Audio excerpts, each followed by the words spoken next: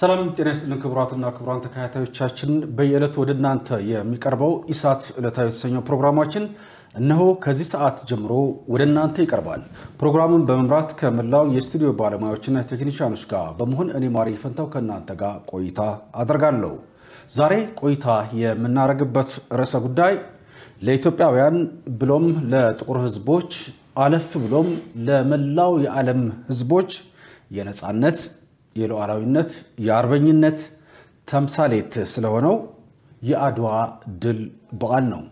እንደሚታወቀው በትናንትናው ዕለት ከ128 ዓመታት በኋላ ለመጀመሪያ ጊዜ በኢትዮጵያ ታሪክ አድዋን በሚመጥን ልክ በልኩ የአድዋን ታሪክ ግዝፈት በሚያክል መልኩ ለታሪኩ እኩል በሚሆን መልኩ መታሰቢያ የሚሆን ሐውልት ቆሞለታል። ሙዚየም ቆሞለታል። በዛ ጉዳይ ላይ ዛሬ ሰፋ ያለ ሁኔታ እናወራለን። ሙዚየም ብቻ ሳይሆን ሙዚየሙም በርካታ ታሪኮችን የያዘ እንደሆነም ሰምተናል። በተለይ የአስራ ሁለቱን ጀነራሎች የአድዋ መሪዎችን ታሪክ በስፋት መያዙ ልዩ አድርጎታል። በዚህና ተያያዥ በሆኑ ጉዳዮች ላይ ዛሬ ቆይታ እናደርጋለን። ከማን ጋር ቆይታ የምናደርገው ካላችሁ ካፍታ ቆይታ በኋላ እንግዳይን አስተዋውቃችኋለሁ። አብራችሁ ክቡራትና ክቡራን ተመልሰን ተገናኝተናል። ዛሬ ቆይታ የምናደርገው በኢትዮጵያ ታሪክ በተለይ በሰራዊቱ ታሪክ ትልቅ ገድል ያላቸው የኢትዮጵያን ታሪክ የሰራዊቱን ታሪክ በተለያየ ሁኔታና መልኩ እየመጡ ሀሳብ አስተያየት በመስጠት የሚታወቁ ናቸው። የዛሬ እንግዳዬ ጀነራል ካሳይ ጨመዳ ይባላሉ። ታውቋቸዋላችሁ። ጀነራል ካሳይ ጨመዳ አክብሮቴን አክብረው ጥሬን አክብረው እዚህ ስለመጡ እጅግ አድርጌ አመሰግናለሁ በተመልካቾች ስም። እኔም አስተያየት እንድሰጥ ስለጋበዛችኝ በእውነት በጣም አመሰግናለሁ። መልካም እንግዲህ ቀደም ብዬ በመግቢያ ላይ ለማስተዋወቅ በትንሹም ቢሆን እንደሞከርኩት በትናንትናው ዕለት ከ128 ዓመታት በኋላ ለመጀመሪያ ጊዜ የአድዋ ድል መታሰቢያ ሙዚየም በይፋ ተመርቆ አይተናል፣ ሰምተናል። እንደው ጥያቄያችንን ከዛ ለመጀመር ጀነራል፣ ይሄ ለመጀመሪያ ጊዜ አድዋን በሚመጥን መልኩ አድዋን በሚያሳይ መልኩ የገዘፈ ታሪክ የተባለለት ሙዚየም በትላንትናው ዕለት በይፋ እንደተመረቀ እኛም አይተናል። እንደው ከዛን ጀምር እስኪ ጀነራል ምን ስሜት ተሰማዎት? በእውነት ትናንትና እኔ እንኳን እንደ አጋጣሚ ያልተጋበዝኩኝም ቤት ነበርኩኝ። በጥሞና ስመለከተው ነበረ። ላለፉት ሰላሳ ዓመት ህብረ ብሔርነትን ትቶ ዘረኝነትን ሲያስተምሩ ሲያናፉሱ የነበሩት ሰዎች እነሱ ያሳደጓቸው ልጆች ኢትዮጵያን ለመበታተን ለመጠቀም እንትን ያሏቸው ልጆች ዛሬ እግዚአብሔር ፈቅዶ ወደ ህሊናቸው ተመልሰው እግዚአብሔር ብርሃኑን አሳይቷቸው ይህን የመሰለ ታሪካዊ ሚውዚየም እዛ ቦታ ላይ ሰርተው ከሁሉም በላይ ደግሞ እዛ ቦታ ላይ የተነገረው ንግግር አፄ ምኒልክን ራሳቸው ከመቃብር አምጥቶ የእሳቸውን መልእክት ስሰማ በእውነት እኔ እንደው በጣም ነው ደስ ያለን። እኛ ለኢትዮጵያ አንድነት የተዋጋነውን ሰዎች ሜዳ ላይ አፍርሰውን ጥለውን ነበረ እንትን ያሉት። ትናንትና ግን ተክሰናል።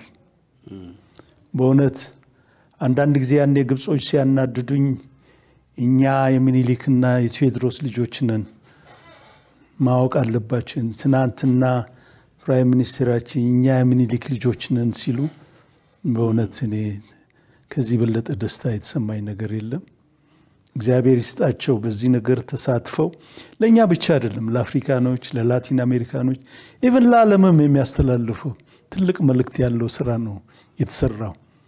እንደዚህ ደግሞ መንግስት ሲሰራ ጎሽ በርታ፣ ግፋበት ማለት አለብን። ይሄ ነው የተሰማኝ ነገር። በጣም ጥሩ ነው። እንግዲህ ይህንን መነሻ እናድርግ ብዬ ነው። ከዛ በኋላ ዘርዘር ያሉ ነገሮችን እያየን እንመጣለን። ጀነራል እንግዲህ የአድዋ ድል ብዙ ተብሎለታል ላለፉት 128 ዓመታት። እንደውም ከኛ በላይ ከታሪኩ ባለቤቶች በላይ የታሪኩ ባለቤት ያልሆኑና ግን የታሪኩ ተቋዳሽ የሆኑ አገሮች ብዙ ብዙ ብለውለታል፣ ብዙ ጽፈውለታል፣ በየዓመቱም ይዘክሩታል። በአንጻሩ ግን እኛ ከነሱ አንጻር ስንታይ በጣም የሚጎሉ ነገሮች አሉ። እንግዲህ የአድዋ ድል የዓለምን ፖለቲካ አጠቃላይ አስተሳሰብና ፖለቲካን የቀየረ ነው የተባለ በተደጋጋሚ ይነገራል። ያ ማለት እንዴት ነው? እንዴት ነው የዓለምን ፖለቲካ አመለካከት አስተሳሰቡን የቀየረው? ምንድን ነው መሰለም፣ አንደኛ ያው ነጮች ልበላቸው አፍሪካኖችን እንደ ዝቅተኛ ነገር ነው የሚቆጥሩት። እግዚአብሔር ግን ሰውን ሲፈጥር እኩል አድርጎ ነው የፈጠረው። ንቀት አላቸው። በንቀት ነው እንዲያውም እኮ ሲዘምቱ እነ ሚኒሊክን ሁሉ አስሮ እኮ እንደሚያመጡ ነው ፎክሮ የመጡት። እነሱ ግን ኢትዮጵያኖች በዛ በአድዋ ላይ የተሰለፉት አንድ በእግዚአብሔር የሚያምን ሕዝብ፣ ሁለት እርስ በርሱ የሚደጋገፍ ሃይማኖት፣ ዘር ሳይለየው በህብረት የወጣ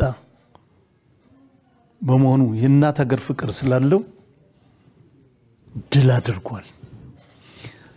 በእርግጥ ድል በማድረጋችን ደግሞ ያተረፍነው ነገር ኢትዮጵያኖች እንድንፈራ እንድንከበር አድርጎናል። በአንድ ወገን በፊት ለፊት መጥቶ የማይችሉን መሆኑን አምነው በተዘዋዋሪ መንገድ ነው ዛሬ እኛን እየተፈታተኑ ያሉት።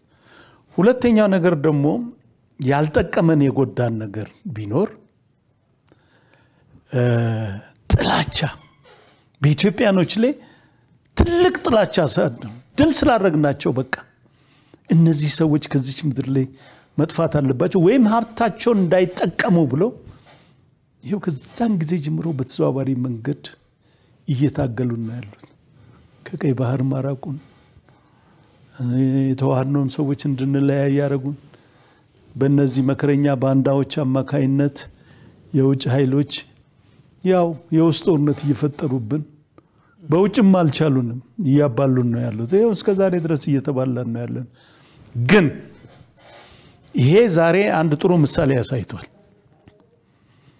ዘረኝነት እንደማይጠቅም ህብረ ብሔራዊነት እንደሚጠቅም ይሄ የአድዋ ሚውዚየም ተዘክሯል። እዛ የተነገረው ነገር በሙሉ ከዛሬ ጀምሮ በሌላም አስፔክት ስራ ላይ የሚውል ከሆነና ውስጣችን ያለውን ችግር ደግሞ ራሳችን ተወያይተን ለእግዚአብሔር ብለን ለኢትዮጵያ ብለን ኢትዮጵያን አግዝፈን ከተነሳን ብዙ ነገርም በውይይት እንፈተዋለን እና ያ ነው እንግዲህ ለዓለምም ለእኛም ትምህርት የሰጠበት ነገር። መልካም ጀነራል፣ በዚሁ እንቀጥላለን። በተለይ ለረጅም ጊዜ በሚባል መልኩ ነጮች የጥቁር ሕዝብን ይንቁ እንደነበር የመናቃቸው ምልክት ደግሞ ያው በቀኝ ግዛት ለረጅም ዘመናት መያዛቸው እንደነበርም የታሪክ ድርሳናት የሚታያሉ። የቅርብ ጊዜም ታሪክ ነው። በተለይ ይሄ አድዋ ሲባል ቅድም መግቢያ ላይ እንዳነሳ ለኢትዮጵያውያን ነፃነት ብቻ ሳይሆን ለጥቁር ህዝቦችም የነፃነት ተምሳሌት ነው። ለጥቁር ህዝቦች ብቻ ሳይሆን ለመላው ዓለምም እነሱንም ጨምሮ የነፃነት ተምሳሌት ነው እየተባለ በተደጋጋሚ ይነገራል እና በዛ በአድዋ መሸነፋቸው ለኢትዮጵያ ብሎም ለጥቁር ህዝቦች በምን አይኑ እንዳየው አድርጓል ማለት ይቻላል። እንደ ምን ውጤቱስ ምን አመጣ? ከዛ በኋላ ከሽንፈታቸው በኋላ እኛን የሚያዩበት መነጽር ምንድን ነው? እኛን በጥላቻ ነው የሚያዩን። ያ የፈጠረው ስሜት ማለት ነው። ያ ስሜት ሊበቀሉንም ይፈልጋሉ። ሞክረውታል። ተበቅለዋል፣ መጥተዋል። በጣም የሚያሳዝን በዓለም ላይ ያልተመከረውን የመርዝ ጋዝ በእኛ በኢትዮጵያኖች ላይ ነበረ የተጠቀሙት። እንዲያም ሆኖ ኢትዮጵያኖች ምንም እንኳን መቋቋም ባንችልም ተበታትነን በአርበኝነት ተዋግተን ነፃነታችን ልናስከብር በቅተናል። እና ኢትዮጵያችንን በሁለት ነገር ነው የሚያዩት። አንድም እነሱን በማሸነፋችን፣ ሁለትም ለሌሎች ተምሳሌት በመሆናችን፣ ሶስተኛ ደግሞ ትልቅ ሀብት እምቅ ሀብት አለን በሀገራችን ውስጥ ውስጡ ማዕድኑ በተፈጥሮ ላይ ያለው የእንስሳት ሀብቱ ከሁሉም በላይ ደግሞ ሰው ኢትዮጵያዊ ልዩ ህዝብ ነው። አልደፈር ባይነቱ ደማችን የተቀላቀለ ስለሆነ አንድ ጂን ብቻ አይደለም ኢትዮጵያ ውስጥ ያለ። አንዱ ኢትዮጵያዊ እኮ ሁለት ሶስት የሌላውን እንትን ያህል ብቃት ያለው ነው። ይሄ ከተማረና እንትን ካለ ነገ ሌላ ይሆናል የሚል ስጋትም አለ። እኔ ይቅርታ አድርግልኝ ከመንፈሳዊ ህይወቴ እነግርሃለሁ፣ ብቃት ያላቸው ኢትዮጵያኖች አሉ። ሊደርሱበት ያልቻሉ ጥበብ ኢትዮጵያ ውስጥ እንዳለም ያውቃሉ። የራሳችንኑ እንትን ወስደው አንብበውት ግን ሊተረጉሙ ያልቻሉት ነገር አለ። ነገ ኢትዮጵያ ደግሞ የት ላይ እንደምትደርስ አውቀውታል። አይቀርም እኮ ወደዱም ጠሉ። ያ ነው እንግዲህ ያ ለእነሱ ጥላቻን እኛ እንትን ለማለት ሞከሩ። መልካም። ጥሩ እንዳናድግ። ወደ ዋናው ጉዳያችን ስንገባ በአድዋ ጦርነት እንግዲህ የተለያዩ ድርሳናት እ፣ ከ100 ሺህ እስከ 125 ሺህ የሚሆን ከዚህ ከመሀል ሀገር ተሞ የሄደው እ፣ የዳግማዊ ምኒልክን አዋጅ ተከትሎ እዛ ወደ ጦርነቱ እንደሄደ ይነገራል። ይሄ ሰራዊት ወታደራዊ ስልጠና ያልወሰደ የሌለው የራሱ መሳሪያ የተደራጀ መሳሪያ ያልተሰጠው የራሱን ያላትን የቤቱን አንዳንዱም ባህላዊ መሳሪያዎችን ሁሉ ይዟል። አንዳንዱም ባዶ እጁ ነው የሄደው። እ፣ ሰራዊቱ ስንቅ የለውም። የራሱን ስንቅ ብቻ ለተወሰነ ቀናት የምታበቃውን በመያዝ ነበር ወደ ወረኢሉ የሄደው። እ፣ ይሄ ምንም ስልጠና ያልወሰደ የተደራጀ መሳሪያ ያልተሰጠው ስንቅ የሌለው ትጥቅ የሌለው መሳሪያ ግን የንጉሱን ትዕዛዝ በማክበር ለድል በቅ- በቅቷል። ይሄ ትውልድ ከዚህ ነገር ምንድን ነው የሚማረው? ምንም ነገር ሳይኖረው የበቃ ከበቃ ትውልድ ምንድን ነው መሰልን አባቶቻችን ትልቁ ኃይላቸው በእግዚአብሔር ላይ ያለ እምነታቸው ነው። ጠላት አገር ለመውረር ሲመጣ እሳቸው የክተት ጥሪውን ሲያውጁ ከሰሜንም ከደቡብም ከምስራቅም ከምዕራብም ህዝቡ ምንም እንኳን በንጉሱ ላይ ቂም ያላቸውም ሰዎች ነበሩ። አዎ፣ እሳቸውም ይናገራሉ። ያንን እርግፍ አድርጎ ባለው ትጥቅና መሳሪያ ባለው አቅሙ በበቅሎም በፈረስም ሆነው ወረኢሉ ላይ ከተተ። በእግርም ይሄዳል። አዎ በእግሩ መሄድ አለ። ከዛ ይሄ ዓላማ ጠላት አገሬን አይወራትም እኔ በቁሜ እያለሁ የሚል ጠንካራ ዓላማ ስላለው ያ ለወራሪ ለወረራ ነው የሚመጣ። ይሄ ግን አገሩን ለመከላከል ነው። ቀዬን ቤቴን አትደፍርም ብሎ ነው የወጣ። ዓላማ ለጦርነት በጣም አስፈላጊ ነገር ነው። ብርታት ይሰጣል። በእግዚአብሔር ማመን ደግሞ ጽናት ይሰጥሃል። ከጎን ያለው ጓደኛ በተመሳሳይ ዓላማ የወጣ ስለሆነ እሱ አንድ ነገር ቢሆን እልህ ይዞ ለእሱ ለመበቀል ትወጣለህ። በእምነቱ ነው የወጣ። እንዳ የአድዋ ጦርነት እኮ ያው የካቲት የጾም ወራድ ነበረ። በተለይ ክርስቲያኑ ጥቁር ውሃ እንኳን ሳይጠጣ ነው የገባው ውጊያ ላይ።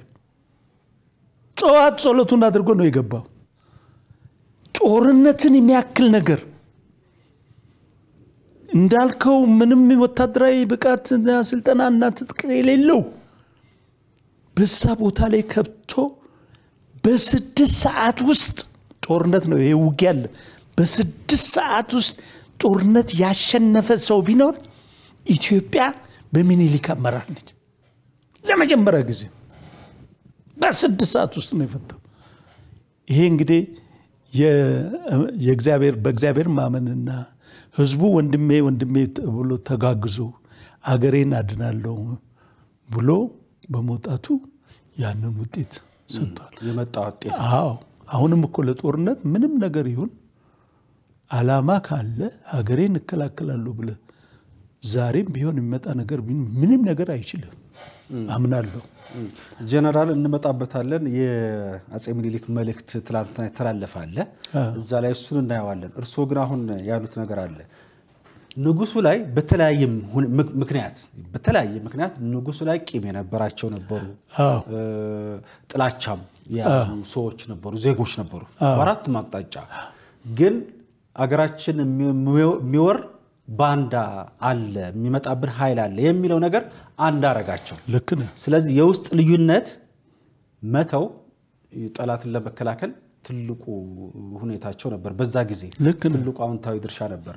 አሁን ላይ ግን ደግሞ በተለያየ መልክና ይዘት ኢትዮጵያን የሚገዳደሩ የውጭ ኃይሎች እናያለን።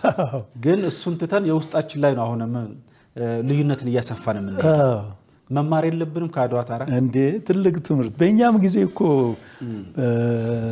በደርግ መንግስት ጊዜ ሱማሌ በወረረችን ጊዜ ያፓ እንትን ብላ እኮ እዚህ ቤተ መንግስት አጠገብ እኮ የደርግ አባሎችን ሁሉ ትገል ነበር። ህዝቡም ለያፓ ያጨበጭብ ነበረ። ልክ ሱማሌ ወረረች ሲባል እርግፍ አድርጎ ጥሎ ሴቱም በሶንና እንትን እየወቀጠ ቋንጣውን እየሰሩ በቀበሌ ሁሉ እንትን ሚሊሻውም ዘምቶ ኢትዮጵያን እኮ አድነናል እኮ አለች እኮ እቺ የአድዋ እንትን እኮ መንፈስ? ውስጣ ደማችን ውስጥ አለች። አሁንም ቢሆን ከመንግስት ጋር አንዳንድ ቅራኔ ሊኖር ይችላል። ኢትዮጵያ ተነካች ቢባል ያንን ታሪክ ይደግማል የኢትዮጵያ ሕዝብ ብዬ አምናለሁ። እና እቺ የውስጥ ነገር ጊዜ ያመጣሽ ነገር ነች። ልዩነቶች በተለያዩ ምክንያቶች አዎ ልክ እንደ ኮሮና ቫይረስ እሷም ጊዜዋን ጠብቃ ትወጣለች። አሁን እኮ ከዘረኝነት ወደ ህብረ ብሔርነት እየሄን ነው እኮ።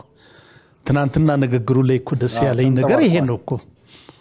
ይሄ ከሆነ ደግሞ በቃ ኢትዮጵያኖች ሾለክን ማለት ነው በቃ አንድ ከሆን ወንድሜ ወንድሜ ከተባባል እንዴ ዘራችን እኮ የተቀራቀረ የተቀላቀልን ሰዎች ነን እኮ። ምንድን ነው አሁን ይሄንን ከውስጣችን በስሪንጅ ማውጣት ይቻላል? አይቻልም።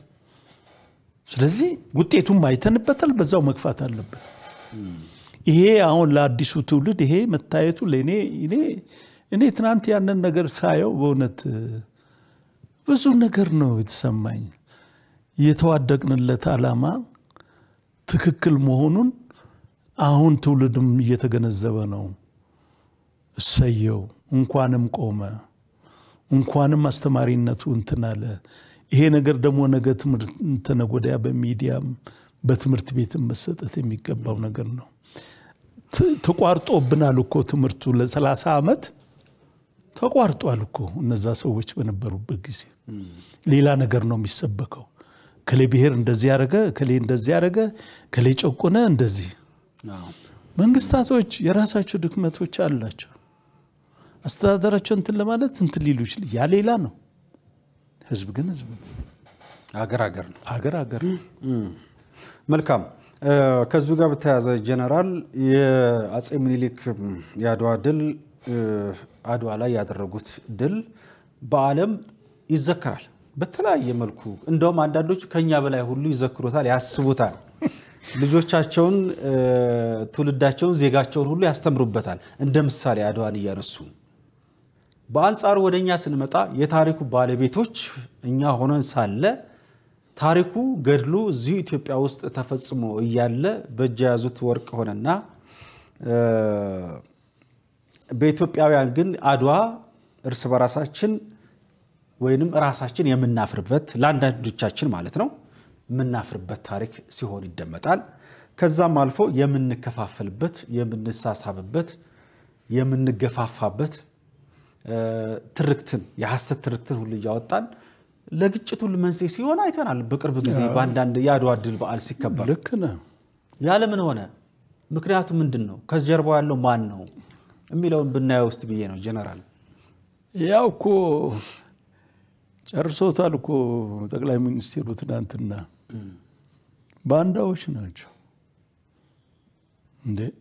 እኛ ለኢትዮጵያ አንድነት የተዋደቅነውን እኔ አሁን አመዛኙ ደሜ ኦሮሞ ነው። ጎበና ይሉኛል እኮ አሁን የጎበና ሐውልት እዛ ቆሟል እኮ ለኢትዮጵያ አንድነት የተዋደቁ እነ ጀነራል ጃጋማል ይቺ ትርክት እነዛ ሰዎች ያመጡብን ትርክት ነች። ተደጋገመ ይሄ ነገር። ሐሰት እኮ ሲደጋገም እውነት ይሆናል ብለው አይደለም እነሱ የሚዘሩት። እናፍርሶ ሲሉ አልነበረም እንደ ሐውልት? ይሄው ደግሞ መጣላቸው ትልቁ ነገር። እውነት መጣ? ጊዜ ጊዜ የባሰ መጣ። አዎ። እነዚህ ልጆች እኮ በእነሱ ጊዜ ያደጉና በእነሱ ስር የተማሩ ናቸው። ዛሬ እውነቱን አወጡት። ከጠበቅነው በላይ እኔ ከጠበቅኩት በላይ ነው የሰሩት። ስለዚህ በዚህ ላይ አጎልብተን ወደፊት መሄድ አለብን። ስለ አድዋ ነገርማ ከሄድክ በሚኒሊክ ስም ጎዳና አለ በሚኒሊክ ስም ሽቶ አለ ቢራ አለ ብዙ ብዙ ነገር አለ። በሌላው ዓለም? በሌላው አዎ። አየ? ምንድን ነው በእጅ የያዙት ነገር ምንድን ነው የሚባለው? ወርቅ እንደ መዳብ ይቆጠራል ተባል ቢሆንም አዋራው አሁን ከላዩ ላይ ተጠርጓል። አሁን እየተወለወለ ወደፊት የሚወጣበት ነገር እየወጣ ነው። እየወጣ ነው ስለዚህ ታሪኩ እንዳይታየን ወይንም እንዲጨልምብን ወይንም ለግጭት መንስኤ እርስ በራሳችን እንድንገፋፋ የተደረገ ሆን ተብሎ ሆን ተብሎ ነገር ነው ነው የሚሉኝ። ከውጭና ከውስጥ ተቀነባብሮ እንትን የተደረገብን ነገር ነው። ለትንሽ ጊዜ አራመደ አየነው እኮ ለእነሱም አልጠቀማቸውም። ኢትዮጵያን እንደነሱ እንደ አባቶቻችን አንድ አድርጎ ቢመሩን ለምን መቶ ዓመት አይገዙትም ነበር? ምንም እኮ የሚከብድ ነገር የለም። አንድነቱን ጠብቆ ያለውን ሀብት ለሀገሪቷ አውሎ እንትን ቢሉ ኖሮ እኛ የምንፈልገው ያንን ነበር። አልሆነም። ነገ ደግሞ ተነገ ወዲያ የሚሆነውን እናያለን። ይህንን ያደረጉ ሰዎች መጨረሻቸው አያምርም። ቅድም እንዳሉኝ ጀነራል የአፄ ምኒልክ ሐውልት ላይ ብዙ ብዙ ሲባል ነበር። እዚህ አራዳ ጊዮርጊስ ላይ ያለው ብዙ ይባል ነበር ብዙ እንሰማ ነበር። አሁን ግን የዛ ምን ያክል እጥፍ ሊሆን እንደሚችል አላውቅም፣ መገመትም ይከብዳል። አሁን እዛው ጎን ላይ የተሰራው ታሪክ ያውም እነዛ 12 ጀነራሎች ጨምሮ የእነሱን ሁሉ የነ እቴጌ ጣይቱን ሁሉ ጨምሮ የተሰራው ነገር እጅግ በጣም የሚያስደምም ነገር ነው። ስለዚህ ይህንን ታሪክ እንግዲህ ጠብቆ መቆየት ደግሞ የዚህ ትውልድ በጣም። ይሆናል። ወደ መጨረሻ ላይ በኋላ እሱ ላይ እናነሳለን። ሌላው በኢትዮጵያ ፖለቲካ እንግዲህ በተለይ እነዚህ ብሔርተኞች የሚባሉት ብሔርን ጽንፈኛ በጣም አቀንቃኝ ብሔርተኞች የአድዋን ድል ብዙ ጊዜ ሲያንኳስሱት እና እንዲሁም ለብሔሮች ጭቆና መንገድ የከፈተ ነው እያሉ ሁሉ ትርጉም ይሰጡት ነበር። አንዱ ብሔር አንዱ ብሔር ላይ ጭቆና እንዲያስተ- እንዲያስተጋባ እንዲያመጣ መንገድ የከፈተ ነው የአድዋ ድል ሲሉ ነበር። በአንጻሩ ደግሞ ቅድምኛ ስናነሳ የነበረው የአድዋ ድል ለነፃነታችን ብርሃን የከፈተ ለጥቁር ሕዝቦች ጭምር እያልን እ፣ ነበር። እውነት የአድዋ ድል ጀነራል የአንድን ብሔር የበላይነት አረጋግጦ ያለፈ ታሪክ ነው? ከዘመቻው እኮ ማየት ትችላለህ። ከመላው የኢትዮጵያ ከደቡብ፣ ከምስራቅ፣ ከሰሜን፣ ከምዕራብ በሙሉ ተውጣቶ በህብረት በአንድነት ሄዶ አሸንፎ የመጣው ነገር ነው። ኢትዮጵያን አስከበረ። ጣሊያን በሰሜን በኩል ስለመጣ አጼ ምኒልክ አስተዋይ ስለነበሩ ለም መሬታችን ያለው ደግሞ በዚህ ወደ ደቡቡ ስለሆነ እሱ ደግሞ በዚህ እንዳይመጣብን አስፋፍተው እስከ ጠረፍ ድረስ ሄዷል። የኢትዮጵያን አንድነት ለማጎልበትና ጥንካሬዋን እንትን ለማለት አጼ ሚኒሊክ እዛ ድረስ ሄዶ እንትን ባይሉ ኖሮ እኮ ጣሊያንም በዛ ቦጭቆ ፈረንሳይም ቦጭቆ እንግሊዝም ቦጭቆ ባሪዎች ሆነን ነበረ እኮ እስካሁን ድረስ ከዚህ በታች የነበረው ሁሉ ትናንትና እንደውም በንግግራቸው በዚሁ እኛ የአድዋን ድል እንደምንም ብለን ተወጥተን ያን ሁሉ መከራ ድል ባናደርግ ኖር ዛሬ እናንተ ግማሻችሁ ሱዳን፣ ነው። ግማሻችሁ ጅቡቲ፣ ልክ ነው ግማሻችሁ ሶማሊያ ነበር። ልክ ነው። አሁን ጨቆኑ እኮ የሚሉት እንደዚህ ነው። አሜሪካን ውሰደት ሀምሳ ስንት ነው? ሀምሳ አንድ ነው ሀምሳ ስንት ስቴት እ? በማንኪያ እኮ እያጎረሰች አይደለም ሀምሳ አንዱን አንድ ላይ ያዋሃደችው ዩናይትድ ስቴትስ ለመሆን የበቃችው። እሺ ያለውም በፍቅር እምቢ ያለውም በጦርነት ነው። አጼ ምኒልክ ላይ ሲመጣ ምንድን ነው ጅማ አባ ጅፋርን ጠየቁት። ገብ- እሺ አለ። ካባውንና ሹመቱንና ሁሉንም ነገር ሰጥቷቸው ነው እንትን ያሉ እሳቸው ንጉሠ ነገሥት፣ ሌሎቹ ደግሞ ንጉሶች ናቸው። እንትናን ጦና እምቢ አለ። ሄዱት፣ ዘመቱ፣ ተሸነፈ፣ ገባ። ከዛ በኋላ አመነ፣ ሾሙት፣ እዛው ንጉሥ አደረጉት። እኔ ወንድም እኮ እዚህ ሞቶ እኮ እዚህ ስላሴ እኮ የተቀበረው በክብር እና ይህንን እንትን አድርጎ እነዛ መንዛሪዎች እንዲያደረገ እንዲያደረገ አሁን ትናንትና እዛ- ጉዳዩን ወደ ብሔር በመውሰድ ወደ ቤት ትናንትና እዛ ቁጭ ብዬ ቴሌቪዥን አያሉ አንዳንድ ሰዎች። ድሮ ምን ሲያቀነቅኑ የነበሩ ሰዎች አንዳንዴ እኮ እዛ ሳትቀመጥ እንዲህ በቴሌቪዥን ማየት ጥሩ ነው እኮ ያንዳንዱ ፊት ታያለ። ስሜቱም ይገልጻል። ግማሹ ያቀርቀረዋል እና ደስተኛ ያልሆነ አዎ ያን ሀገር እንዳላዋጣና ህብረ ብሔራዊነት ጠቃሚ እንደሆነ ትምህርት አግኝተውበታል። እርግጠኛ ነኝ እነሱም አሁን ወደፊት በዚህ መስመር ይጓዛሉ ብዬ ነው ማምነው። ስለዚህ ጀነራል የትላንቱ የአድዋን ድል ከፍ ያደረገው ማስታወሻ የተቀመጠው አንዳንዶቹን አንገት አስደፍቷል ማለት ነው። አንዳንዶቹንም አሳፍረዋል ማለት ነው። የስ እነሱ ዘረኝነትን ነው አንገብግበው ኢትዮጵያኖች እርስ በርስ እንድንባላ ነው። ይሄ ደግሞ የለም ህብረ ብሔራዊነት ከአባቶቻችን የተማርነውን ይዘን ወደፊት በዚህ ብንሄድ ነው። ምንድን ነው መሰለህ አንድ ነገር ለተወሰነ ጊዜ ሊሰራ ይችላል። ታየ ታየ፣ ያንን ያቀነቀኑት ሰዎችም ወዴት እንደወረዱ ታየ። ጉዳቱን ሁሉ አይተን የሚጠቅመንን መንገድ ደግሞ እግዚአብሔርም የቀየሰልን ነው በሱ መንገድ የቀየሰልን ነገር ነው። ኢትዮጵያ አትወድቅም፣ ሀገረ እግዚአብሔር ነች። ገና ገና ገና ትነሳለች። እግዚአብሔር ይስጣቸው። እነዚህ ልጆች ብርሃኑን አሳይተውናል። መልካም ጥሩ።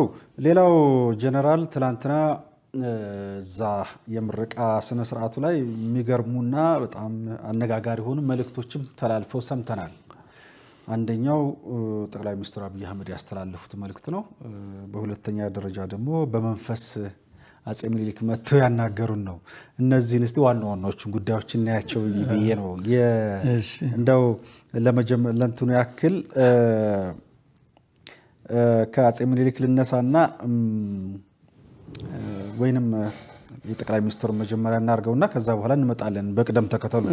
ጠቅላይ ሚኒስትር አብይ አህመድ በትላንትናው ንግግራቸው እንግዲህ ለረጅም ዘመናት በኢትዮጵያ ታሪክ የሀገሪቱ ጠላት ባዳ እና ባንዳ ናቸው ብለው ያስተላልፏት መልእክት ብዙ- የብዙዎችን ስሜት ኮርኩራለች፣ ገዝታለች፣ አነጋጋሪም ሆናለች። በተለይ በጣሊያን ወረራ ጊዜ በሁለተኛው እንደዚሁም በደርግ 17 ዓመቱ ጦርነት ጊዜ በደንብ አድርገው ያውቁታል። በእነዚህ ጊዜያቶችና በአጠቃላይ በኢትዮጵያ ታሪክ በጦርነት ጋር በተያያዘ ባዳና ባንዳ የኢትዮጵያ ጠላት እንዴት ሆኑ? ያ ማለት ምን ማለት ነው ሲገለጽ? እንግዲህ ባዳ ማለት እነዚህ የውጭ ኃይሎች ናቸው። እነሱ ኢትዮጵያን እንዳታድግ፣ እንድትቆረቁዝ፣ ሀብቷን እንዳትጠቀም ፍላጎታቸው ነው፣ አላማቸው ነው። ቂም አላቸው በኛ ላይ። እግዚአብሔር ደግሞ እንደ አጋጣሚ የሆነ ትልቅ ሀብት ያስቀመጥባት ሀገር ነው። ዛሬ እኔ ወንድም ሀብታችንን በሳተላይት እኔ እናንተ ከምናውቀው በልጥ ያውቁታል። ኢትዮጵያኖች ይህን ነገር አውጥተው አልምቶ እንትን ቢሉ ማንም የሚያግዳቸው የለም። ብሪሊየንት ህዝብ ነው ያለው። ጎበዝ ህዝብ ነው። ታታሪ ህዝብ ነው። ብዙም ህዝብ ነው። ሞክረውን አልቻሉም።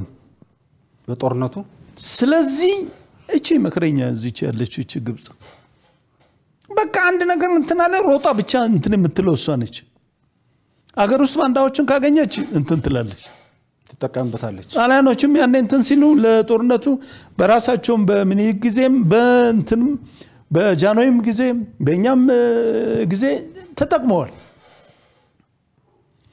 ለሆዳቸው የሚያድሩ ከሀገር ይልቅ ሆዳቸው እንትን የሚላቸው ወይም ስልጣን የሚፈልጉት እነሱ መሳሪያ አድርገው ነው። አይተነዋል። ይሄ ነው የሚሰማኝ ነገር በጣም በጣም በጣም ግን እስከ ጊዜው ይጎዳናል። የማታ ማታ ግን እኛ ባሻ በጣሊያን ጦርነት ጊዜ ባንዳውም እኮ ትልቅ ትልቅ የሆነ ኪሳራ ያደርስ ነበረ። አዎ አድርሷል በተለያየ መልኩ መረጃ ያደሩ ወደ ደርግም ስንመጣ አለ ይሄ ነገር ነበረ ጊዜ እናንተም ስታነሱ እኛ ውስጥ ሆኖ እኛን የሚመርጁን ነበሩ እኮ በተለያየ ምክንያት አዎ በብዙ ነገር በኢትዮጵያ አንድነት የሚያምኑ ሰዎች ናቸው። አንድነት ምን ጉዳት አለው? ከአንድ ሁለት ብርቱ አይሻልም እንዴ? እነሱም እኮ አላወቁም። ለሰው ነው እኮ እየተገዙ ያሉት። ፍርፋሪው ለጊዜው ሊጠቅማቸው ይችላል። እዚች ዓለም ላይ ምን ያህል ጊዜ ብንኖር ነው? እግዚአብሔርም የማይወደውን ነገር እንዴት ታደርጋለህ? እንዴት ወንድምህንና ወገን ታስገድላለህ? ፈሪሃ እግዚአብሔር ቢኖርብህ አታረግም።? ወንድምህን የምታከብር ወገንን የምታከብር ከሆነ እንዴት ለጥላት አድረህ እንደዚህ አይነት ነገር ታደርጋለህ? ይሄ ነው የታየው። ይሄ ባዳነት ወይም ባንዳነት ምን ያክል የሰራዊቱ ፈተና ነበር? ምን ያክል ሰራዊቱንስ እየፈተነው ነበር? በወሬ ፈታው ይባላል። እንደውም በጣም በጣም አሁን ለምሳሌ እኔ ስጥ አሁን በእኛ ጊዜ የቀይ ኮከብ ዘመቻ በነገራችን ላይ ከሶማሌ ጋር ስንዋጋ ያ ሁሉ ችግር ነበር። አንድም ሰው ከዚህ ወደዛ መሄድ የለም። መረጃ በአግባቡ እናገኛለን። ከኛ ወደ እነሱ የሚሰጥ የለም። ሁሉን ነገር ስሙዝሊ ነው የጨረስነው።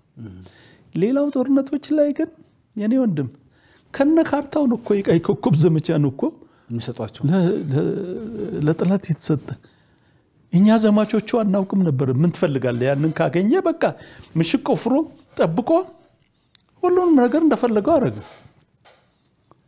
እንዴ ብዙ ነገር ነው እኮ ያለው። አሁንስ ይሄ ነገር እንዴት ነው ይታያል? ያው ጠቅላይ ሚኒስትሩ ያስተላለፉት መልእክት የአሁኑ ጋም እያያያዝ ነው እና ይሄ ነገር አያዋጣም መቼም አሉ ሰዎች አሉ። ምንም ምንድን ነው መሰለህ አሁን ህብረ ብሔራዊነት እኔ ውስጥ እናንተ ውስጥ ያለ ስሜት በእያንዳንዱ ውስጥ ከገባ ይሄ ነገር ይከስማል። ስለዚህ ነው በትምህርት ቤቱ ይሰጥ፣ በሚዲያ ይሰጥ። እኔ ለአሁኑ ሳይሆን ለወደፊቱ ትውልድ ይሄ ነገር በትምህርት መልክ እየተሰጠ በቅስቀሳ መልክ እየተሰጠ ከሄደ በጎ በጎ ነገርም ደግሞ መንግስት እያሳየን ከሄደ እንደዚህ አይነት ነገር ይከስማል። እየጠፋ እየቀነሰ የሚሄድ ጉዳይ ነው።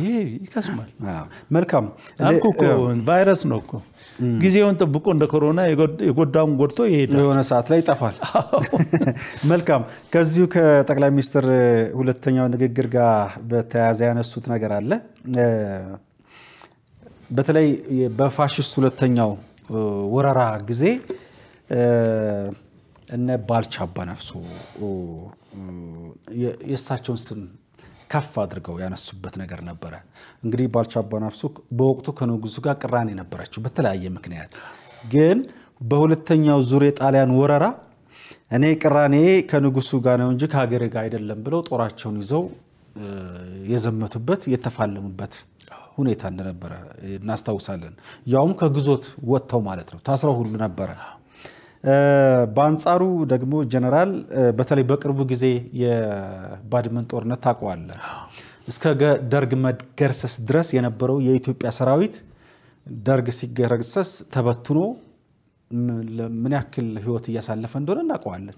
በልመና ላይ ሁሉ እስካሁን የሚያሳልፉ ሰራዊት አባላት እንዳሉ ከኔ በላይ ታውቀዋለህ ጀነራል።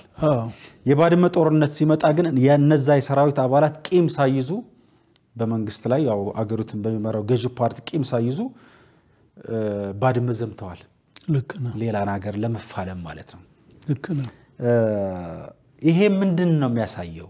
በአገር ላይ በአገር ላይ ምን ያክል እንደማይደራደር ቂማቸውን አሁን ጋር እያያያዙ እንደ ሀሳብ እንዲሰጡ ብዬ ነው። ከአሁኑ ባልቻ እኮ በወጣትነት እድሜያቸው አድዋ ላይ ዘምቶ እኮ ኢትዮጵያን እኮ ነፃነቷን ያስከበሩ ሰው ናቸው።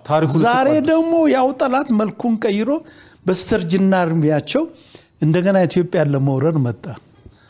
ከመንግስቱ ጋር ያላቸው ቅራኔ እንዳለ ሆነው ያ ትናንትና እሳቸው ያዘመቱት ለኢትዮጵያ ብሎ የወደቀ ሰራዊት ደምና አጥንት ህሊናቸው ጭንቅላታቸው ስላለ እወጣለሁ ብሎ ወጡ። ይህን እኮ አላማ ምለ የደርግ ሰራዊት ህብረ ብሔራዊ ነበር። ኢትዮጵያ ብሎ ነው የወጣው። አሁን ኢትዮጵያን የአድዋንና የኢትዮጵያን ታሪክን ለማፍረስ የመጣበት ነው።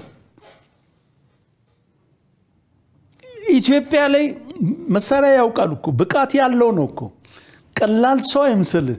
ግድ የለም ለኢትዮጵያ ሰላም ከመጣ ብሎ አርፎ ገበሬውም እያረሰ እንትን አለ። እንደገና ኢትዮጵያ ተነካች ሲባል ዘሎ መጣ።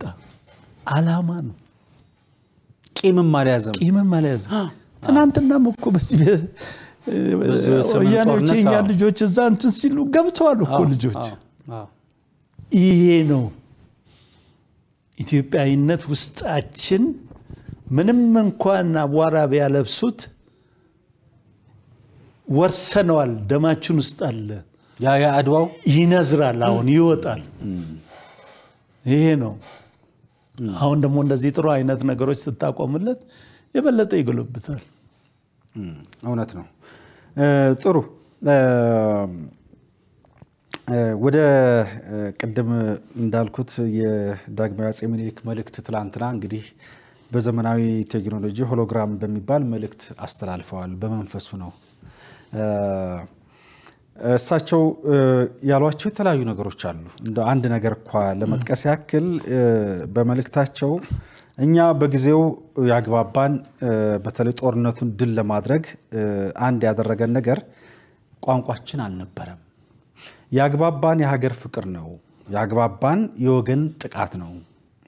የዘመተው ተመችቶት አይደለም። ሁሉም ገበሬና አርሶ አደር የዘመተው ንጉሥ አያስከፋም ተብሎም አልነበረም። የማስከፋቸውም ነበሩ ለማለት ነው። ቅድም ያነሳነው ነገር የዘመተው ለሀገርና ለሀገር ብቻ ነው የሚል በጣም ትልቅ መንፈስ ያለው ትልቅ መልእክት ያለው ሀሳብ አስተላልፈዋል። አዎ ይሄው ዛሬ ሚኒሊክን ከመቃብር ጠርተን መልእክት ከሳቸው ለመቀበል መብቃታችን በጣም ደስ ይለኛል። እኔ አየህ ብዙዎች በጣም ተገርመዋል። በጣም አየህ፣ ይሄ ነው። አንዳንድ አልባሌዎች እሳቸውን ይሰድቡ ነበረ። እኔ አንዳንድ ጊዜ ሚዲያ ላይ ወጥቼ እኔ በእውነት ግብረ ገብነት በትምህርት ቤትም ወላጆች ያስተማሩኝ ነው። ግን አልባሌ ነገር የማይሆን ነገር ታሪክ የሰሩትን ሰዎች ስም ሲያጠፉ ያናደደኛል እና ጊዜ መጣ የምኒልክ መልእክት ራሱ የሚወደስበትና እያንዳንዱ እንትን ላይ ገና ገና ገና ይጠቀሳል። ገና በብዙ ነገር ገና ይጻፋል። ጊዜውን ጠብቆ መጣ። ጊዜውን ጠብቆ መጣ። እሳቸው ደግሞ ለእኛ ድርና ማጋችን ናቸው። አንድ ያደረጉን ናቸው። ንጹህ ሰው ኢትዮጵያን አልሰረቁ ምንም ነገር ሀብት የሌላቸው እስቲ ስልጣኔ ዛሬ ኢትዮጵያ ውስጥ ያለውን ቁጠረው። በእሳቸው ጊዜ ፈተና ነበራቸው። መኳንንቶቹ እንትን እያሏቸው እያጥላሏቸው በግድ ነው ትናንትም መልእክታቸው ላይ አስተላልፈዋል። በግድ ነው እንትን ያሉት እኛ ጋር ያልቆሙ ከእኛ ጋር የእኛን ስራ የሚያደናቅፉ ብዙ ነበሩ። ነበሩ። አሁን በአጸደ ገነት ተገናኝተን ይላሉ። ያው እዛ ተገናኝተን ይቆጫሉ። ምን ነው በዛ ጊዜ እናንተ ጋር ቆመን በነበር፣ ምን ነው አግዘናችሁ በነበር? እያሉ እየተቆጩ ነው የሚል መልእክትም ነው። ማለት በተዘዋዋሪ እኛም ብዙ የሚያደናቅፍ ኃይሎች ነበሩ። እዚሁ ኢትዮጵያ የሆኑ ለማለት ነው። ስለዚህ አብራችሁ ተባብራችሁ ብትሰሩ ይሻላል የሚል መልእክት አስተላልፈዋል። ዛሬም እኮ ያለ ነገር ነው እኮ። ምንድን ነው ሁላችንም የድርሻችንን እንውሰድ የድርሻችንን እንስራ። እንወጣ አዎ ያንን ካደረግን እኮ ቅድም ያልኩን ነገር ነው። ሀገርን ከሁሉ ነገር በላይ አድርገን ወንድሜን እንደ ራሴ እንትን ከወሰድኩኝ ሁሉም በተመደበበት ቢሰራ ሀገራችንን እናለማለን። ምንም እኮ አንድና ሁለት የለም ሴጣን አለ እዚች ምድር ላይ። እንዳንግባባ፣ እንዳንዋደድ፣ እንዳንተጋገዝ። ደግሞ እኔ በእምነቴ ሲሄድልህ እንደ ስመ እግዚአብሔር በከፍተኛ ደረጃ የሚቀደስባት ሀገር በዓለም ላይ በዛሬ ጊዜ ያለችው ኢትዮጵያ ነች። ክርስቲያኑ፣ ሙስሊሙ ሁሉም ከጠዋት እስከ ማታ የሚጸልይበት ሀገር ነው። ስለዚህ እኛን ያልፈተነ ሴጣን ማንን ሌሎቹንም እኮ አንበርክኳቸዋል። በግብረ ሶዶም በለው በምን በለው ምን እኮ አንበርክኮ ሆምወርኩን ጨርሶ ያ- የቀረው እዚህ ስለሆነ ዘምቶብናል። ፈተና ስለዚህ እኛም ደግሞ በርትተን ጸሎት እያደረግ ከእግዚአብሔር ጋር ሆነን በአንድነት ከቆምን እናሸንፋለን። አይቀርም። ትላንት በነበረው ስነ ስርዓት ላይ ጠቅላይ ሚኒስትሩም መልእክት አስተላልፈዋል። ክብርት ፕሬዚዳንቷም በወቅቱ በጣም የሚገርም መልእክቶችን ያስተላልፉበት ሁኔታ አለ እንደው ከጠቅላይ ሚኒስትሩ ከቅድሙ ለመጨመር ያክል አጠቃላይ እንደው ንግግራቸው የጠቅላይ ሚኒስትሩ ቅድም ትንሽ ጨረፍ አድርገው ሰምቻለሁ። ኢትዮጵያዊነትን የሚያጠናክር አንድነትን ከመትከል አንጻር ወደዛ ያጋደለ እንደሆነ ብዙዎች እንደው ማህበራዊ ሚዲያውም በዚህ ላይ ብዙ እያለበት እያየ ነው እየሰማ ነው ነው በርካታ ወገኖችንም ኢትዮጵያዊነትን የሚያጎላ ነገር ተናግረዋል ብለው በስፋት የተናገሩበት ሁኔታ አለ። እውነት ነው። ወደዛ ወደ ኢትዮጵያዊነት አንድ ለማድረግ አይነት ነገር ወደዛ ነው የሄዱት። ስሜት አለው ከዛ ማማ ላይ እንዳይወርዱ ነው እኔ አሁን እንጂ መንገዱ ጸልየው በዛው ማማ ላይ ኢትዮጵያ በዛ ህብረ ህብረ ህብረ ብሔራዊነት ጠንክሮ ዘረኝነት እንትን እንዲል እዛ ላይ እንትን ማለታቸው ደስ ብሎኛል። ሌላ እስቲ በዚህ ላይ ደግሞ ሌላም ነገር በእጃቸው ይጨማምሩልን። እኔ ይሄንን ነው በቃ ለእኔ በቃ እኔ ወንድም ሰባ ስድስት ዓመቴ ነው ትንሽ ነው የቀረኝ እና አገሬ ወገኔ እርስ በርስ ተዋደው በፍቅር በሰላም አድጎ እንዲኖር ነው የምፈልገው። ሌላ ምንም ምንም ምንም የምፈልገው ነገር የለም። ስለዚህ እኔ እሳቸውን በዚህ ነገር ባመሰግን ምንም ፈልጌ አይደለም።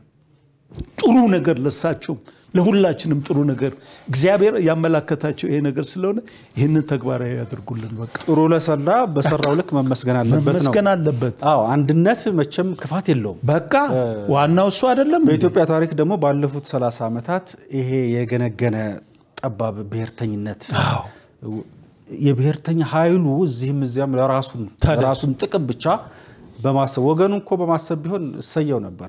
ግን ያችን ነገር በማቀንቀን በአቋራጭ ስልጣን በአቋራጭ ገንዘብ እኮ እንደሆነ ተፈትኗል። ላለፉት 30 ዓመትና ከዛ በላይ በደንብ አይተነዋል። እና ሊያዋጣና ሊያዋጣን የሚችለው አንድነትና መተባበር እንደሆነ ብዙ ይናገራሉ። እና ይህን ነገር ወደ ተግባር ተጀምሯል ብለውኛል። የተጀመረው በደንብ አድርጎ እስከ መጨረሻው እንዲሄድበት ከኛ ምን ይጠበቃል? ከኢትዮጵያውያን እንግዲህ ምንድን ነው መሰለህ ኢትዮጵያኖች በአንድነታችን ማመን አለብን። ጎጠኞች መሆን የለብን። ወንድሜ ወንድሜ ተባባሉ ብሏል እኮ ምኒልክ ኑዛዜያቸው ላይ። ስለዚህ ከሌ እንደዚህ ነህ፣ ከሌ አማራ ነህ፣ ከሌ እንደዚህ ነው የሚባለውን ነገር ከውስጣችን እናውጣ። ያፈጀ በሰበሰ የጎዳን ነገር ነው። ተደጋግፈን የተራበውን ወንድም ካለ በማብላት ነጋዴውም ዝም ብሎ ገንዘብ ለማግበስበስን ግለሰበኝነትን ነው እኮ ያስተማሩት እነዛ ሰዎች። በአግባቡ መቶ percent ማትረፍ አይደለም። የመንግስትን አስር percent tax የምትከፍል ከሆነ አስር percent ለራስህ ለለፋበት አድርጋ የተቀረው ደግሞ ወገን ነው። ይሄ ሰፊ አመለካከት ውስጣችን እንዲኖር የሃይማኖት አባቶችም መንግስትም አስተማሪዎችም ለትውልዱ ይሄንን እያስተማሩ ይሂዱ። ይቻላል። አልተሞከረም። ሲሰበክ የነበረው ነገር ሌላ ነበረ። አሁን ወደ አንድነት መተን ተያይዘን ተደጋግፈን ሀገራችን እኮ የኔ ወንድም እኮ እንደ ኢትዮጵያ ቆንጆ አፈርና አየር ያላት ሀገር የለችም እኮ። ጎንበስ ብለን እኮ እንትን ብንል በምግብ ራሳችን ለመቻል አመትና ሁለት ዓመት አይፈጅብንም። እኔ አስታውሳለሁ ደርግ ያኔ በሰባ ሰባት ድርቅ አፍሮ አርሲና ባሌ እዚህ ጎጃም ወለጋ ሄዶ ራሳቸው እንትን ብለው ያን ሰፋፊ እርሻ እንትን አደረጉ። የእርሻ ሰብል ገበያ ተብሎ አዳራሽ ሁሉ በየቦታው ምርት መሰብሰቢያ ተደረገ። ምርት ማምረት ተጀመረ። ጣና በለስ ራሱ production ሩዝ ማምረት ጀመረ እና ጅሬ መጡ። ጣና በለስን አፈረሱት። ሁመራ የሚታረስበትን ትራክተር ወስዶ ሱዳን ሸጡት። የመንግስት እርሻዎቹን በሙሉ ቸበቸቧቸው። የተገኘውን ነገር ጀኔሬተሩን ምናምን እዚህ እንኳን አሁን ህፃናት አምባ የነበረውን ጀኔሬተር ሁሉ ወሰዱ ወደ ላይ። በዛ ቢቀጥሉ ኖሩ። ኢትዮጵያ እንድትዳከም። እነሱም እኮ የኢትዮጵያ አካል ናቸው እኮ። የትግራይ ህዝብ እኮ እየተጎዳ ነው እኮ ያለው። አለም እንደ የኢትዮጵያ አካል ነው እኮ። ምን ጠቀሙት እና ከዚህ ነገር ውስጥ መውጣታችን ደስ የሚል ደስ ይላል ነው። መልካም ጥሩ። በጣም የሚገርመው ነገር ይሄ የተገነባው አድዋ ሙዚየም ብዙዎቹ በጣም ያስገረማቸው አንዱ እነዚህ የአድዋ የጀርባ አጥንት የነበሩ ጦርነቱን የመሩ ያስተባበሩ ራሳቸውም ገብተው የተፋለሙ አስራ ሁለቱ ጀነራሎች ከነገበየሁ ጀምሮ የነሱ በክብር ቁጭ ብሏል በተለያዩ ቦታዎች በጣም በሚያምር መልኩ በጣም ያስገረመ ነው። እነሱ መቀመጣቸው ብቻ ሳይሆን ትናንትና ጠቅላይ ሚኒስትር በስም እየጠሩ ያሞገሷቸው ነበር። ምን ብለዋል? የአድዋን ድል መታሰቢያ ሌሎች የጥቁር ሕዝቦች ሀገራት ሊሰሩት ይችላሉ፣ የሞከሩትም አሉ። ቢሰሩትም ቢችሉም የሚኒሊክ ልጅ፣ የባልቻ ልጅ፣ የገበየሁ ልጅ፣ የአሉላ አባነጋ ልጅ መሆን ግን አይችሉም እያሉ በስም የጠቀሱት ነገር አለ። አዎ። እንግዲህ አንዳንዱ የሚኒሊክን ስም ለመጥራት ሁሉ የሚያፍር እንደነበረ አይተናል። ልክ እሳቸው ደግሞ አጼ ሚኒሊክን ብቻ ሳይሆን ሁሉንም ጠሯቸው። አዎ። ምን ማለት ነው ይሄ ማለት? አባቶቻችን ናቸው። በህብረት ወጥቶ መቼም ጦር ያለ አዝማች አይሆንም። ለክብርና ለአጠራር ያዋጉትን ፊት ያሉትን ነው የምንጠራው እንጂ ታች ያለውም ተራ ወታደር ተአምር የሰራ ነው። ስንቅ ያቀበለውም ተአምር የሰራ አዎ እና ለእኛ ለኢትዮጵያውያኖች የእነሱ ልጆች ነን። እኛ ለባዕዳን የሚኒሊክ ልጆች ሊሆኑ አይችሉም። አድናቂ ሊሆኑ ይችላሉ። የነሱም የነዚህን አርበኞች ፈለግ ተከትለው ለነጻነታቸው ሊታገሉ ይችላሉ። እኔ አሁን የኤንሲ ልጆች አዋሽ አርባ እያለኝ ሀምሳ የኤንሲ ልጆች ለመማር መጥተው ነበረ። በጣም የሚደንቀው ስለ አድዋ ጦርነት እዛ እንትናች ውስጥ ይማሩ ነበር። ትምህርትም ሆኖ ተሰጥቷል። ያ በትምህርታዊነት ለነሱ ነው። እኛ ግን የምንኮራበት ነው እኮ ምናፍርበት እኮ አይደለም እንዴ። ከጀግና ሰው ተፈጠርክ ማለት አኩራም እንዲ አንተ እንዴ በጣም ያኮራሉ እኮ። ኩራታችንና በታሪካችን እንዳንመካ ነው እኮ ሲደረግ የነበረው እንዳንደግም ያንን የመሰለ ታሪክ። ኤኒዌይ እንዳልኩ ሁሉም ጊዜውን ጠብቆ ይሄዳል። ደስ ያለኝ እነዚህ ልጆች ትናንት እነሱ ጋር ተምሮ ለሌላ እንትን ያሰቧቸው ይሄው ዛሬ ትልቅ ትልቅ ገድልና ታሪክ ሰርቶ ይሄው ለእኛም ለማስደሰት በቅተዋል። እግዚአብሔር ይስጣቸው። በዚህ ነው ምንም ምለው ነገር። እኔ ትናንት በቃ በስም እየጠሩ እንደው ደስ ብሎኝ እንደው ፉት ስል ነበር እዛው የተቀመጥኩት። ገብቼ አውጥቼ በቃ ደስ አለኝ በቃ። በጣም ጥሩ። እንግዲህ ውይይታችንን በተለይ አሁን ቅድም ያነሳነው ነገር በብሔር አስተሳሰብ በብሔርተኝነት ጎራ ውስጥ ራሳቸውንም ደብቀው ብሔራቸውንም በዛ ለመሰብሰብ ለሚያስቡ በልዩነት ለተተበተበ ትውልድ ትልቅ መልእክት የሚያስተላልፍ ነው። እኛ የአፄ ምኒልክ ልጆች ነን፣ የአሉላ ልጆች ነን፣ የገበየሁ ልጆች ነን እያሉ በአደባባይ የተናገሩበት ሁኔታ ሰምተናል። ይሄ ሰየው የሚያስብል ልናጠናክረው የሚገባ ሀሳብ ነው ነው የሚሉኝ። በጣም በጣም። ጀነራል እንግዲህ ሀሳብ እንትናችንን ጠቅለል ማድረግ ስለሚገባ እንግዲህ ለ128 ዓመታት በትንሹም ወጣ ገባ ያል ስንዘክረው የነበረው የአድዋ ድል አሁን በጣም ታሪኩን በሚመጥን መልኩ በደንብ በሚያሳይ መልኩ በተለይ ይሄ የብሔር አቀንቃኞች ብሔርተኞችን በሚያሳፍር መልኩ ወይንም ትርክትን የሐሰት ትርክትን በመጻፍ በመናገር በማስነገር ጊዜያቸውን ለሚያሳልፉ እያሳለፉ የሚገኙ ሰዎችን አንገት ያስደፋ የጋራ ታሪካችንን ከፍ ያደረገ ትልቅ ታሪክ እንዳለን የሚያሳይ ነው። ስለዚህ ከዚህ አሁን ከዚህ ከአድዋ ድል ታሪክ ከሙዚየሙ በደንብ ተደራጅቶ ከተቀመጠው ነገር የአሁኑ ትውልድ ምን መማር አለበት? ምንን ነገር ነው አጠናክሮ ወደፊት ይዞ መሄድ ያለበት? ወጣቱ ትውልድ በጣም ይገርመሃል። እነሱ ባደረጉት አንዳንድ ነገር በራሱ መንገድ ቆፍሮ በራሱ መንገድ የኢትዮጵያን ታሪክ ፈልጎ ወደ ህብረ ብሔራዊነት እየሄደ ነው ያለው። ምንድነው እሱ ፊት ቆመህ ብርሃንም የሚያሳዩ ሀቀኛ ሰዎች መቆም አለባቸው። ወደ ጎጥ የሚጎትቱም ሰዎች አሉ። ወጣቱ ትውልድን በትምህርት ቤትም እንትን እያሉ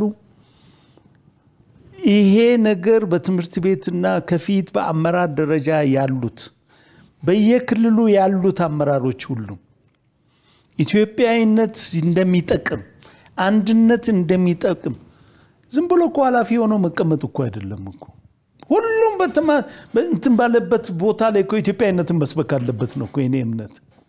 በተሰማራበት ሁሉም በተሰማራ አምስት ደቂቃ አስር ደቂቃ እቺ እኔ እናንተ የተናገርናትን ያህል እንደው ጊዜ ሲገኝ እንትን ቢሉ ምን አለበት? ምን አለበት? ቆስለናል፣ ተጎድተናል። አሁን እስቲ አንድ ላይ ቆመን ደግሞ ሀገራችንን እንገንባና በፍቅር እንጓዝ ብሎ እንትን ማለት እኔ በእውነት በኃላፊነት ደረጃ ላይ ያለ ሰው ማንም ሰው አስተማሪዎችም፣ ቤተሰብም ለልጆቻቸው ይህን እንትን ማድረግ አለባቸው። እኛ እንደኔ እንደኔ በቃ ኢትዮጵያዊነት ሰንደቅ ዓላማችን ራሱ እያንዳንዱ ከፍታ ላይ እንደው እኔ ሳየው ነው በቃ እምባዬን እንትን የሚለው መውጣት አለበት። ከዛ ነው አባቶቻችን የተጋደሉት ለሱ አይደለም። ስለዚህ አንድነታችንን የበለጠ እያጠናከርን መሄድ አለብን።